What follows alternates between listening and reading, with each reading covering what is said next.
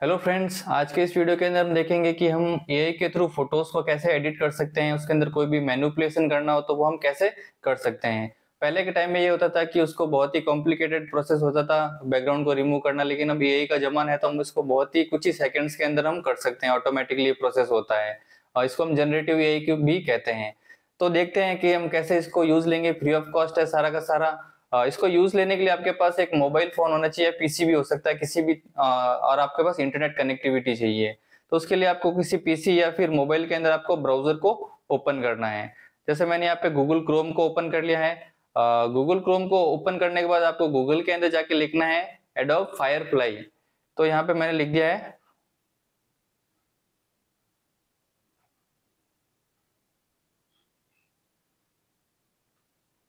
ठीक है?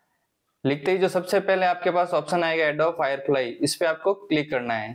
ठीक है? जनरेटिव एआई टूल्स तो यहाँ पे जाओगे वेबसाइट जब ओपन होगी तो आपके सामने आ, एक आ, इस वेबसाइट ओपन होगी इसके अंदर आपको अलग अलग तरह के टूल्स दिखाई देंगे। यहाँ पे एक एग्ज़ाम्पल भी दे रखा है जैसे यहाँ पे लिखोगे आप जनरेट जनरेट के अंदर डॉग इन अ स्वेटर तो आप इसे इमेज जनरेट करोगे जो एक डॉग है वो स्वेटर पहना हुआ होगा। तो इस तरीके से आप इमेज भी जनरेट कर सकते हो इसके थ्रू तो ये बहुत ही अच्छा टूल्स है और अभी ये फ्री ऑफ़ कॉस्ट अवेलेबल है, ठीक है?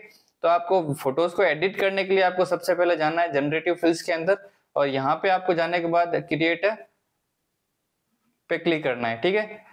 जैसे इस पे क्लिक करोगे तो और ये आपसे अपलोड है इमेज के बारे में पूछेगा। जो भी आपको फ़ोटोज़ का बैकग्राउंड रिमूव करना उस फ़ोटोज़ को आप अपलोड करिए, ठीक है? तो यहाँ से मैंने एक फ़ोटो फ़ोटोज़ को सिलेक्ट कर रहा हूँ मैं। तो एक फ़ोटोज़ को मैंने सेलेक्ट की है और उसको ओपन कर लिया है। ठीक है? अब इस फ़ोटोज़ का आप सबसे पहले हम बैकग्राउंड को रिमूव कैसे करते हैं? ठीक है? बैकग्राउंड को रिमूव करने के लिए आपके पास नीचे एक ऑप्शन दिया होगा बैकग्राउंड उस पर आपको क्लिक करना है। जैसे आप उस पर क्लिक करोगे तो ये प्रोसेसिंग को स्टार्ट करेगा और कुछ ही सेकंड्स के अंदर इसको बैकग्राउंड को अच्छे तरीके से रिमूव कर देगा। तो वेट करते हैं इसके रिमूव होने का। तो ये देखो, कुछ ही सेकंड्स के अंदर ये रिमूव हो गया, एकदम परफेक्टली उसको बैकग्राउंड को इसने रिमूव किया है। ठीक है? अब इसके बैकग्राउंड आप कुछ भी लगाना चाहते हो तो आप यहाँ पे लिख के डिस्क्राइब करना पड़ेगा आपको कि बैकग्राउंड क्या चाहिए आपको। तो मैं कुछ भी लिख देता हूँ। पुट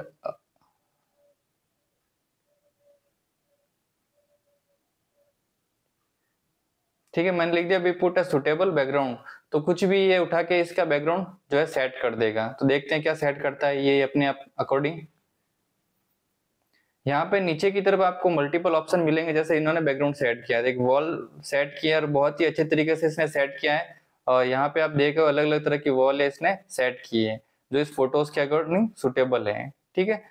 तो ये इस तरीके से आप इसका बैकग्राउंड रिमूव कर सकते हो। इसके साथ आप अलग अलग तरह के इसमें अलग अलग तरह के अपने अकॉर्डिंग भी सेट कर सकते हो, जैसे आप कुछ भी लिखोगे इसके पीछे कार लगानी है कहीं पे गार्डन में खड़ा करना है तो आप लिख दोगे ना तो ये उस तरीके का बैकग्राउंड भी सेट कर देगा।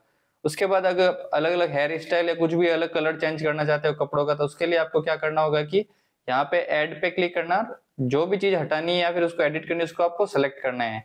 तो सेलेक्ट करने के बाद आपको यहाँ पे डिस्क्राइब करना है क्या करना है। तो मैं लिखता हूँ चेंज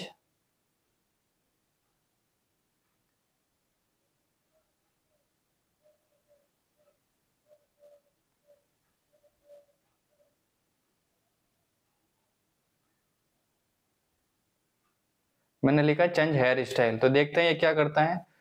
तो ये प्रोसेसिंग कर रहा है यहाँ पे आपको मल्टीपल मोर पे क्लिक करोगे तो और आपको अलग तरीके के ऑप्शन भी और देखने को मिल जाएँगे। आप इन तीन में से कुछ भी पसंद नहीं आता है। तो देखो ये इन्होंने हेयर स्टाइल चेंज किए कुछ इस तरीके से ये चेंज किए हैं। तो इस तरीके के आप बहुत सारे मल्टीपल मैनुपुलेशन आप कर सकते हो। इसके थ्रू ए के थ्रू इमेज जनरेट करवा सकते हो।